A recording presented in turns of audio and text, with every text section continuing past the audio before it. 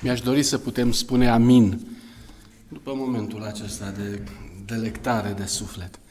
Bine v-am găsit, frații mei, după o lună de zile în care n-am fost împreună. Mă bucur că suntem aici.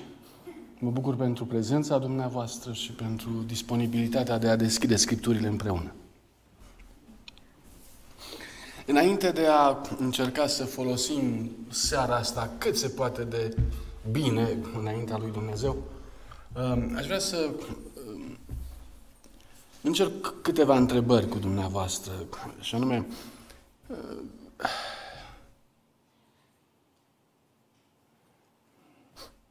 ce părere aveți?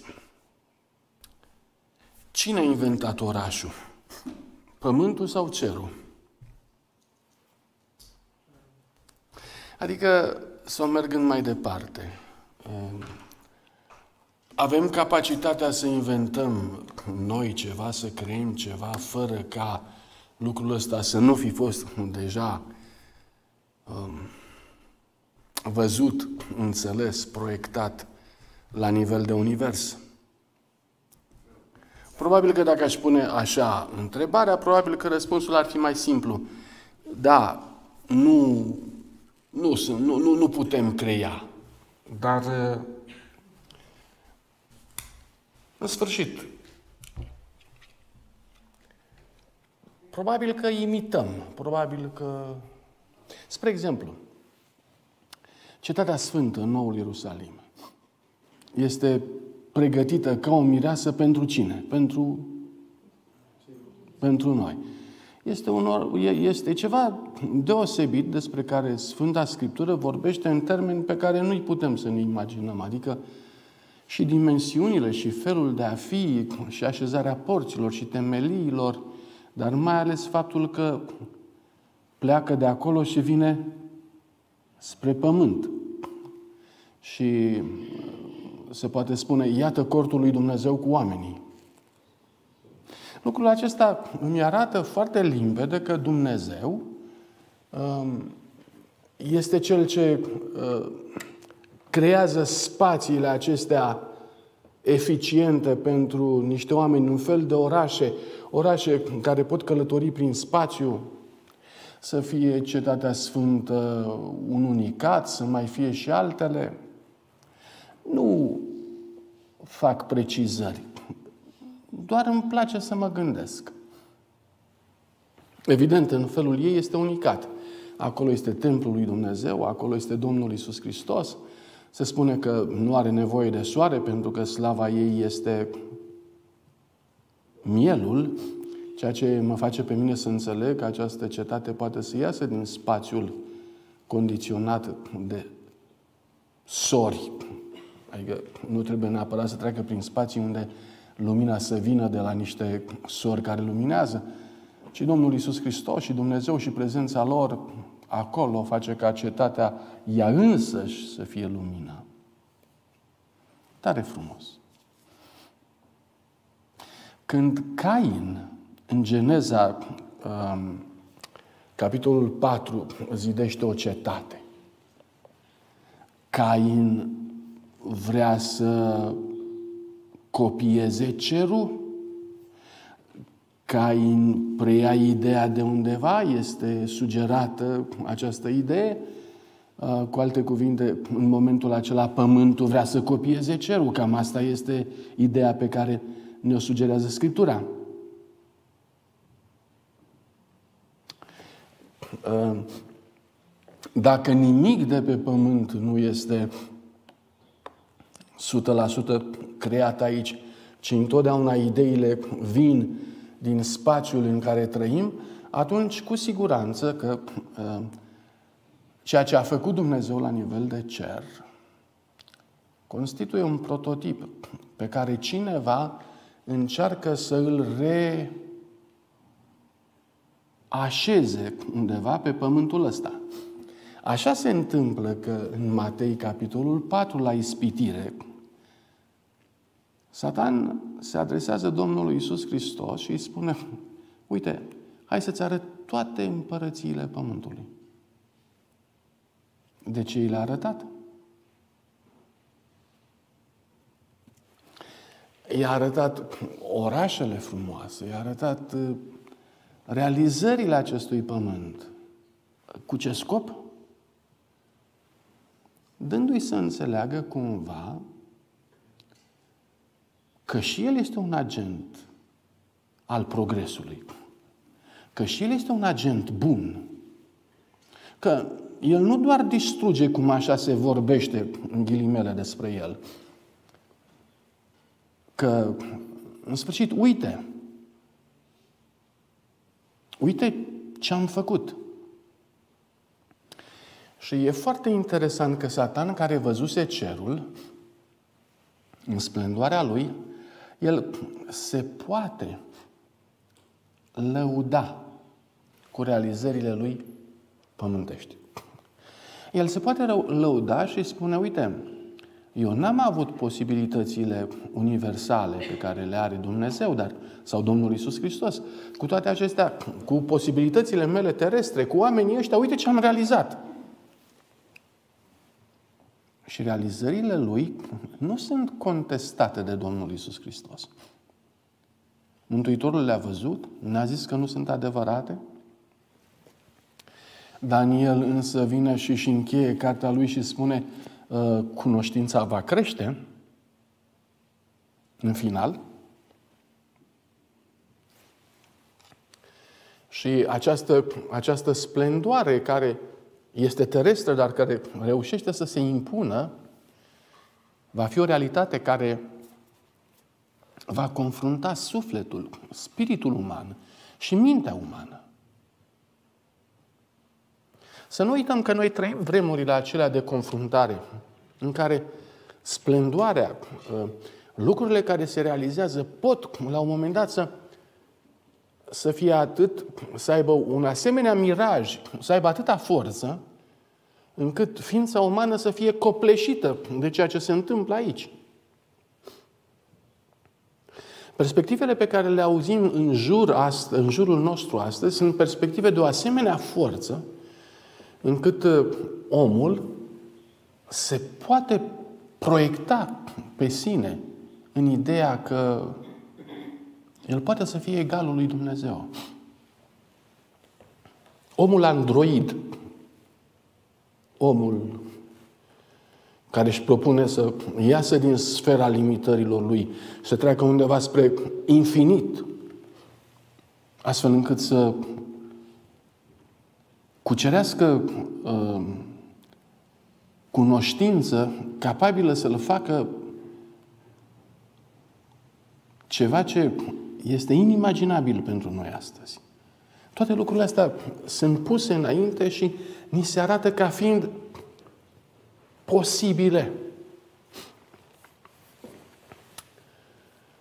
Există un alt lucru cu care Scriptura vrea să ne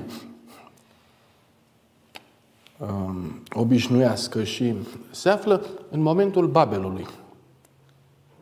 Știți că oamenii au început să-și construiască orașul lor, Babel. Și au făcut un etaj, două, trei, patru, nu știu. Cartea Patriarh și Profet spune că oamenii începuseră să se mute în apartamentele acestui turn. Era și ăsta un, un oraș. Un oraș al viitorului care, uh, evident, uh, avea avantaje extraordinare. Uh, dacă ar fi să vorbesc în termeni moderni, oamenii plăteau ca să ajungă acolo sume mari. Un apartament la Babel costa mult. Uh, primii și cei mai bogați deja și-au luat apartamentele cu view, cele mai bine plasate și așa mai departe. Și în timp ce ei își proiectau planurile pentru viitor, Dumnezeu a zis, haideți să mergem. Poftiți? Să? Păi de ce? Să le încurcăm limbile ca să nu înțeleagă, dar observați dumneavoastră, apare ideea asta că haideți să mergem să le încurcăm planurile pentru că vor izbuti ce și-au propus, vor izbuti. Cum vi se pare ideea asta? Că dacă n-ar fi intervenit Dumnezeu, omul ar fi reușit să pună ultima piatră în vârful Babilonului. Cum vi se pare? Omul ar fi reușit. Cum ar fi fost istoria? Cu un turn Babel care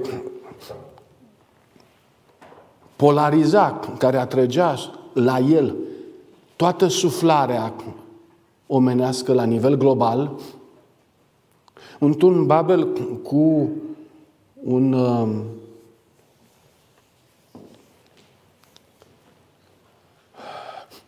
birou de organizare planetară, de acolo se emiteau comenzi, porunci și tot pământul se uita acolo, ca, s-ar fi uitat acolo ca fiind locul de unde trebuie să se vadă lanțul de comandă pentru întreaga planetă. Intervenția lui Dumnezeu împotriva Babelului a fost o intervenție pentru ca nu cumva istoria să fie blocată, furată și acaparată de acest proiect.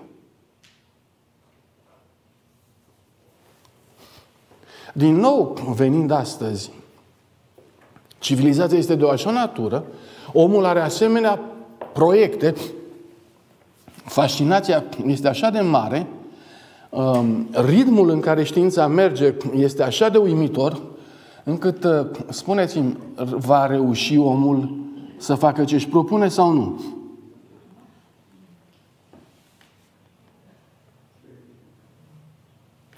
Se pare că de data asta Dumnezeu le va da voie să meargă până la limita suportabilă, astfel încât cuvântul lui Dumnezeu spune că uh, uh, vor face ceea ce și-au propus.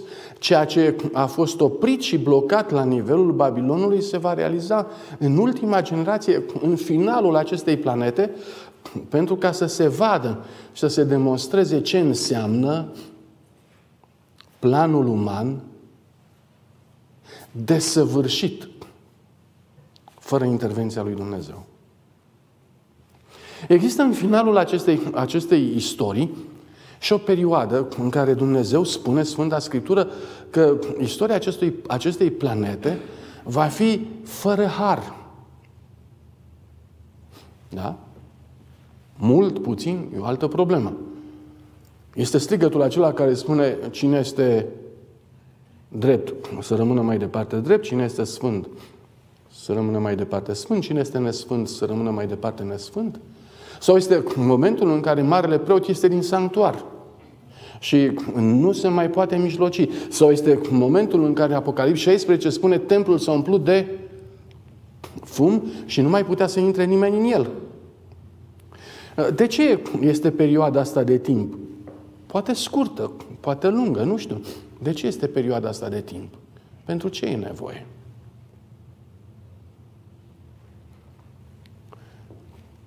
Și din nou, scrieri inspirate vorbesc. Este nevoie să se vadă ce înseamnă păcatul neamestecat cu har.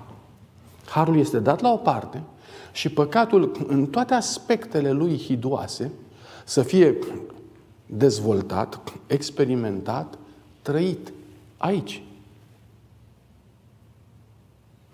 În perioada asta, Sfinții lui Dumnezeu și-au ales traseul lor. Sfinții lui Dumnezeu sunt puși deoparte. Dumnezeu are pentru ei un locaș al milei, astfel încât harul să fie încă asupra lor și Duhul Sfânt încă să-i conducă. Dar planeta aceasta își va vedea în final împlinită sau împlinit visul ei împlinite planurile ei. Babelul nu și-a pus piatra de vârf cu ocazia turnului Babel. Babelul își va pune piatra lui de vârf cu ocazia finalului istoriei. Foarte, foarte interesantă perspectiva asta. Și în timp ce lumea merge în direcția respectivă, poporul lui Dumnezeu este chemat într-o altă direcție. Exact așa cum s-a întâmplat și atunci. În timp ce Babilonul își ridica oarecum vârful spre cer și Dumnezeu a intervenit, cam în perioada aia, nu exact atunci, dar nici prea târziu, Dumnezeu îl cheamă pe, pe Abraham și îi spune, Abrahame, ieși din Ur, din țara ta, un alt centru de civilizație care rivaliza la vremea respectivă cu Babilonul. Un alt centru. Ieși de acolo, din țara ta, și vino că-ți dau o țară. Și cuvântul lui Dumnezeu ne vorbește despre Abraham că Abraham um, Evrei 11 cu 14 Hai de la 13. În credință au murit toți aceștia fără să fi căpătat lucrurile făgăduite, ci doar le-au văzut, le-au urat de bine de departe, măstruisind că sunt străini și călători pe pământ. Observați, vă rog, statutul lui Abraham, străin și călător. În timp ce, pe de-o parte, la Babilon se încerca să se creeze acel centru de comandă pentru întreaga planetă, pentru acel centru global de conducere, el, Abraham, se pregătea să fie străin și călător pe pământ. Cei ce vorbesc în felul acesta arată deslușit că sunt în căutarea unei patrii. În timp ce respectivii încercau ca prin Babel să pună bazele unei organizații terestre astfel încât să fie patria tuturor generațiilor care au trăit în perioada respectivă, el arăta că el nu și-a găsit încă patria. Dacă ar fi avut în vedere patria din care a ieșit, deci urul, s-ar fi putut întoarce înapoi, zice versetul 15. Dar dorea o patrie mai bună, adică o patrie cerească. De aceea lui Dumnezeu nu este rușine să se numească Dumnezeul lor, căci le-a pregătit o un oraș. Le-a pregătit un oraș, o cetate. Cetatea Sfântă, Noul Ierusalim. Um, și prezența exemplului lui Abraham aruncă în aer modelul Babilonului. Peregrinul Abraham este mai prezent în istorie decât este prezent turnul Babel. Este mai prezent decât Babelul. Are continuitate, are urmași, uh, are provocări extraordinare pe care le face lumii. Îl are pe Domnul Isus Hristos. În timp ce Babilonul cade și este anunțată căderea,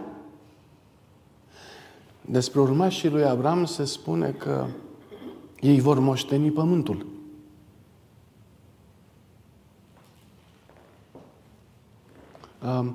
Perspectiva asta, eu zic că este perspectiva ultimei generații și perspectiva noastră de acum.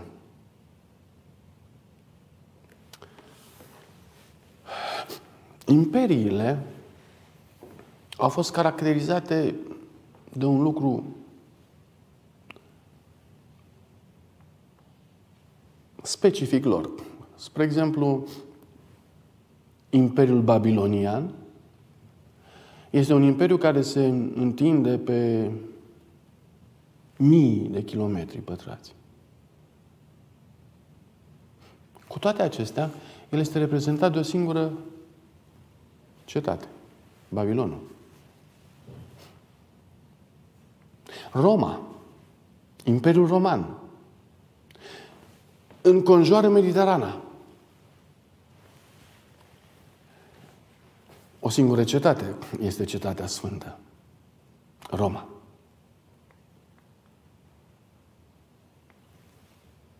Ierusalimul. Cele zece seminții, cele zece triburi sunt toate foarte importante. Dar vă rog să observați că nu se întâmplă nimic câtă vreme Ierusalimul mai stă încă pe picioare. Cele zece triburi la un moment dat sunt luate de asirieni. Împăratul Babilonului vine și cucerește tot. Câte vreme mai rămâne însă Ierusalimul pe picioare, încă nu s-a întâmplat nimic. Pentru că asta este perspectiva. În noaptea în care capul de mână a scris pe zid Mene, mene, techelul farsin, și cuceriseră tot teritoriul în jurul Babilonului. Rămăsese Babilonul. Cu toate acestea, împăratul a dat un ospăț tuturor celor ce erau în oraș, pentru că a vrut să demonstreze un lucru, și anume că pot să cucerească ei tot pământul.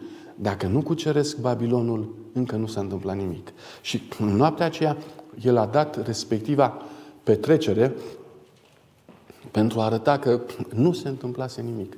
Babilonul e încă pe picioare, încă pe picioarele lui.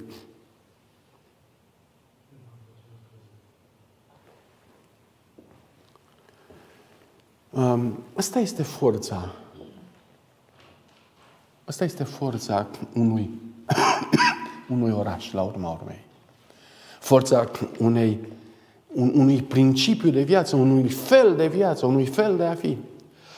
S-a luptat Ierusalimul și Babilonul, cele două orașe. Nu s-au luptat suburbiile lor, oamenii care trăiau în muntele lui Efraim sau în câmpiile uh, Palestinei. Nu, nu despre asta este vorba. Când se spune în Matei 24, Ierusalime, Ierusalime, de câte ori am vrut să strâng pe copiii, lor, copiii tăi, cum îți strânge găina pui sub aripi și tu n-ai vrut, iată, ți se lasă casa pustie. Aici este momentul în care Dumnezeu are de-a face cu un decret asupra orașului, care înseamnă un decret asupra poporului întreg. Haideți puțin să ne gândim. În ce an a fost, au fost puse cuvintele astea ale Domnului Isus? În ce an?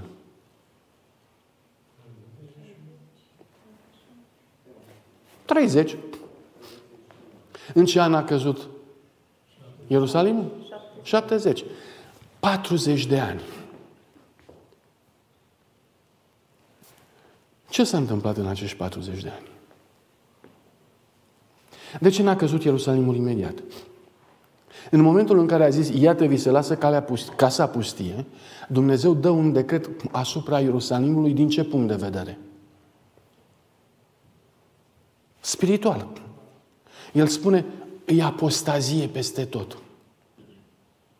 Ți-ai pierdut rostul. Și decretul marchează vârful de apostazie al poporului Israel. De ce a mai durat încă 40 de ani? Poftiți? Uh, mai, era pute- mai era posibil să se întoarcă?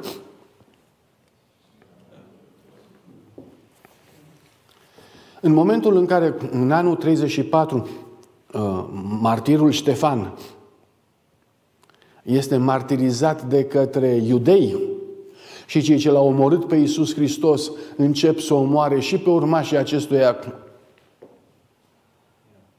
Ce se întâmplă?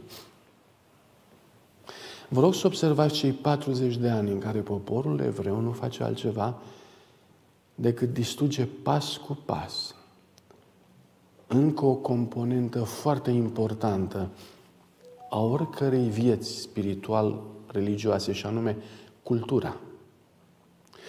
În anul 30, Dumnezeu a spus că poporul Israel a apostaziat. Cu toate acestea a rămas templu, au rămas jertfele, au rămas tradițiile, au rămas... Ce formează astea? Formează o cultură. datorită culturii, poporul mai rămâne încă 40 de ani. Timp în care, timp în care el nu face altceva decât după ce a apostaziat spiritual, el distruge și cultura biblică pe care o avea. O distruge. Se transformă în oameni care persecută pe alții. Iosif Flavius vorbește despre faptul că a ajuns acolo încât să pângărească sabatul. Iosif Flavius vorbește despre istoria lor arătând că ei au reușit să distrugă pe cei mai buni oameni ai lor. Au linșat, au ucis pe marii lor preoți în condițiile în care nu s-au înțeles între ei și așa mai departe. Și uh, istoria ne arată și ne demonstrează că după momentul în care Domnul Isus Hristos le, uh, îi avertizează despre apostazia lor, anii de har despre care dumneavoastră vorbiți, cei 40 care au mai rămas, nu sunt altceva decât ani în care ei se auto distrug și din punct de vedere a, nu al spiritualității lor, că asta murise odată cu uh, ceea ce spusese Domnul Isus Hristos, dar și în legătură cu lucrurile bune pe care le mai aveau, cu așa numita cultură minimă biblică pe care o aveau. Dacă am reușit să mă fac, să mă fac înțeles, atunci merg puțin la noi și aș putea spune următorul lucru. Există momente de apostazie serioasă în rândul creștinismului. Momente de apostazie. Momentul în care creștinii se ridică împotriva legii lui Dumnezeu. Momentul în care creștinii iau jertfa Domnului Isus Hristos și o abordează ușor. Și fac din har un har ieftin. Momentul în care creștinul acceptă păcatul și spune sau spun că în felul acesta ei înțeleg mântuirea. În momentul acesta se poate vorbi despre apostazia creștinismului la nivel general. Dar după asta există un timp în care ceea ce urmează este distrugerea acelor principii social, economice, politice, care au generat din creștinismul biblic. Care au generat din creștinismul biblic. Ceea ce se întâmplă astăzi, noi trăim lucrul acesta cu, cu, cu ochii noștri. Și vă rog din tot sufletul să vedeți aceste lucruri. Ellen White vorbește despre faptul că la Revoluția franceză sau Revoluția franceză s-a întâmplat datorită faptului că biserica din vremea de atunci distrusese clasa de mijloc a Franței. Și Franța nu mai avea clasă de mijloc. Avea doar câțiva oameni în vârf care îi conduceau pe ceilalți, iar jos era pătura săracilor. Și atât. Iar cei care munceau, cei care reușeau să facă ceva în societate, erau alungați din Franța datorită persecuțiilor pe bază religioasă. Și hugenoții au fost dați afară din Franța. Floarea națiunii era clasa de mijloc. Observați, vă rog, cum valori de felul acesta dispar astăzi. Clasa de mijloc este din nou eliminată. Individualismul, responsabilitatea individuală este din nou eliminată. Libertatea este dată la o parte. Sunt lucruri care se pierd și nu se pierd în virtutea sau având în vedere că se câștigă alte valori și um, devenim mai bogați, ci se pierd și nu le vom mai recupera niciodată. Și toate aceste valori sunt valori, valorile Scripturii, valorile Bibliei. Dumnezeu spune despre lege că este legea slobozeniei sau legea libertății. În momentul în care oameni ai națiunii noastre vorbesc despre faptul că nu avem nevoie de libertate, elimină în felul acesta valori pe care Scriptura ni le-a dat. În momentul în care se ridică cineva și vorbește împotriva noțiunii de proprietate, spre exemplu. Și ni se spune că nu veți avea nimic și veți fi fericiți. Este dat la o parte porunca lui Dumnezeu care i-a spus lui Adam să lucreze grădina, să o păzească, că e a lui și i-a dat-o Dumnezeu. Și în felul acesta l-a întregit. Biblia arată că omul se întregește spiritual prin faptul că deține, posedă o proprietate și o administrează. Și modul în care o administrează ilustrează până la urmă întregimea lui, întregirea lui spirituală. Toate lucrurile astea nu țin neapărat 100% de spiritualitate. Țin de cultura care derivă din spiritualitate. Și vă rog să observați această, această etapizare. Întâi apostazie și apoi ce urmează după apostazie? Distrugerea celorlalte valori, că sunt culturale, că sunt economice, că sunt... Se distrug toate. În momentul în care nu mai ai acel element al credinței care să susțină toate aceste valori, acest element motivațional, care este fundamentul valorilor creștine, valorile acestea creștine vor dispare. Și suntem în momentul în care întreaga societate lucrează cu cea mai mare putere pentru a distruge valorile creștine pe care noi le-am avut. Întrebarea mea este în final, unde suntem din punct de vedere al timpului și al istoriei? Se spune foarte mult, de foarte multă vreme se spune că suntem la sfârșit. Întrebarea mea este însă cât de la sfârșit suntem? Pentru că aș vrea să atrag atenția asupra acestui lucru și anume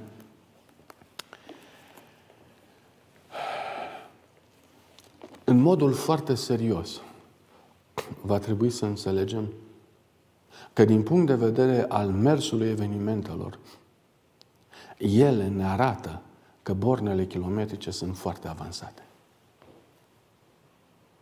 Dacă ar trebui să compar cumva istoria veche cu istoria nouă sau istoria prezentă, atunci aș avea curajul să spun că, așa după cum a existat o apostazie națională pe care a definit-o Domnul Isus Hristos în Matei 23, atunci când a zis, iată vi se lasă casa pustie, și apoi au mai rămas 40 de ani în care poporul Israel n-a făcut altceva decât s-a autodistrus din punct de vedere al culturii, al economiei, al politicii și așa mai departe. Deci dacă ar trebui să ne localizăm, ar fi undeva aici. În perioada asta. O perioadă în care națiunile nu se mai îngrijorează de multă vreme de starea spirituală a lor. Au depășit nivelul ăsta. Au trecut acolo unde națiunile luptă împotriva a ceea ce a mai rămas din spiritul creștin în celelalte forme de existență națională pe care le avem în jur. Ce face biserica în momentul ăsta? Ce fac eu? Ce facem noi? Evident, uh, vă voi invita ca în continuare în întâlnirea noastră de sabat care urmează, să analizăm puțin ceea ce spune Domnul Isus Hristos că se întâmplă sau că se va întâmpla la dărâmarea Ierusalimului. Și acolo, în Matei 24, în Marcu 13, Mântuitorul se uită înainte și vorbește despre ceea ce se va întâmpla în timpul acesta. Și toate lucrurile acelea se vor reedita înaintea ochilor noștri în zilele care vor urma. Dacă ar trebui în momentul ăsta să mă întreb, Doamne, ce pot să-mi spui în seara asta? Dacă lucrurile sunt atât de înaintate, ce aș putea să fac eu în momentul ăsta? Dragii mei, n-aș avea altceva de făcut decât tot în cuvintele Domnului Isus Hristos să dau o pagină mai departe pentru că eu am rămas la Matei 23 și să ajung la Matei 25 și să citesc puțin din pilda celor 10 fecioare.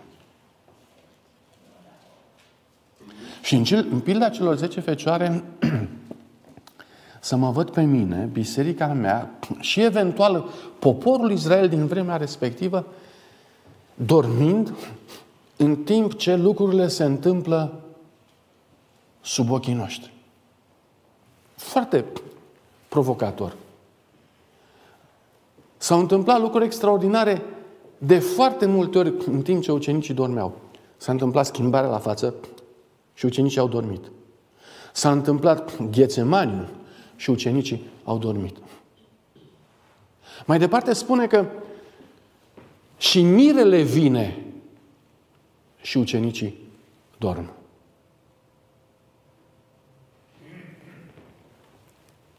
Um, ce ar trebui să se întâmple ca noi să ne trezim?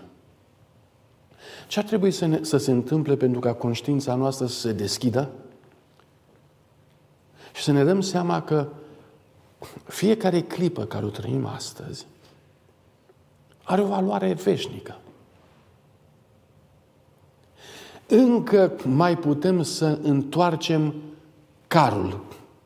Încă se mai poate. Dacă cumva direcția e greșită, încă mai putem să ne întoarcem. Asta se numește pocăință. Încă ne mai putem pocăi. Dacă cineva s-ar trezi și ar vedea, păi, dar chiar nu stau bine, chiar nu m-am pregătit, chiar sunt gata să mă prăbușesc. Cu o secundă înainte să se prăbușească, încă e o dovadă de maximă înțelepciune și de maxim har din partea lui Dumnezeu. Încă se mai poate. De ce dă Dumnezeu har în vremea asta? În timp ce temeliile se sfarmă, temeliile lumii se sfarmă. De ce dă Dumnezeu har? Pentru mine. Pentru lume. Pentru noi. Cum ar trebui să ne întoarcem? Matei 25, în pilda celor 10 fecioare, este, zice că ar trebui să ne luăm candelele. Ce sunt candelele? Ce sunt candelele? Cuvântul lui Dumnezeu. Ar trebui să ne luăm candelele, să le luăm în mână. În candele trebuie să fie ulei. Ce e uleiul? Uleiul? Duhul Sfânt.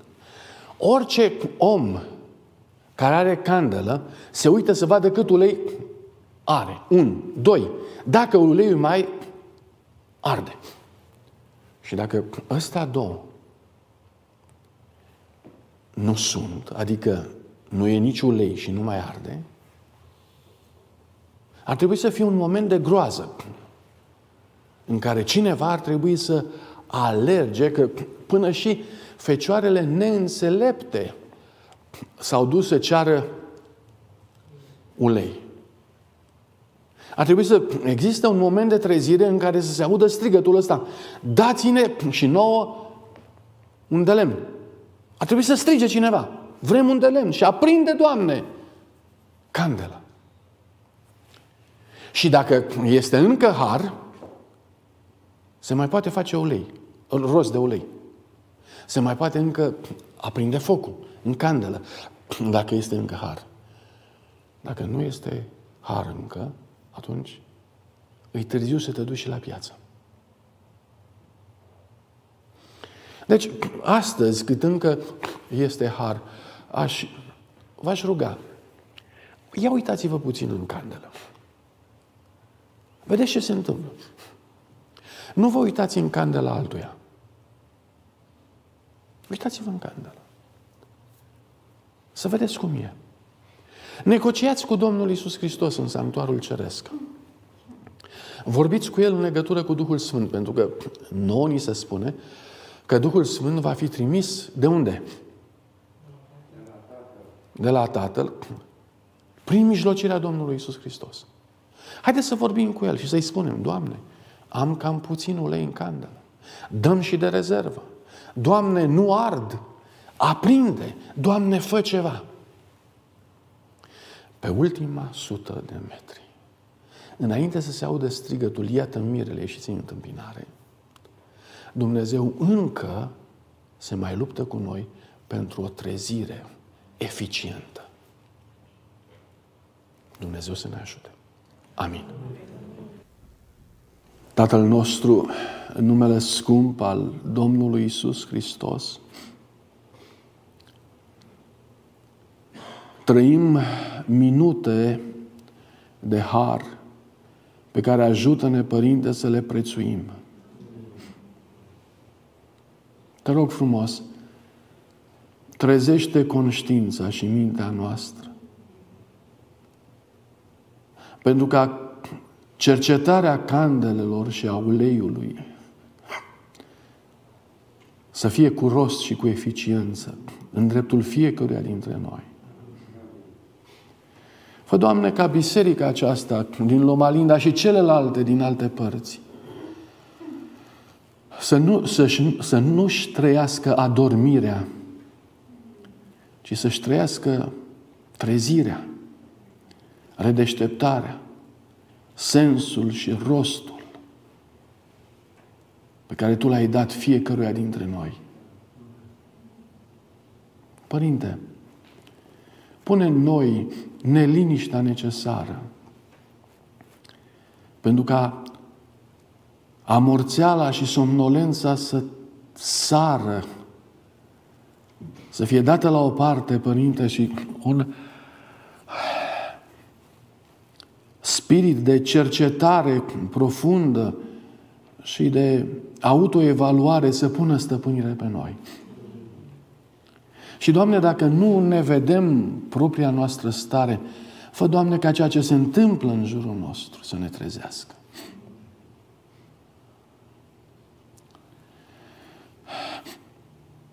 Ajută-ne să ne luăm Bibliile și Scripturile la cercetare profundă, cum n-am făcut-o niciodată până acum. Fă, Doamne, să ne lăsăm conduși de Duhul Tău cel Sfânt. Și fă ca dragostea care s-a răcit să ardă din nou. Te rugăm acesta în numele Domnului Isus. Amin.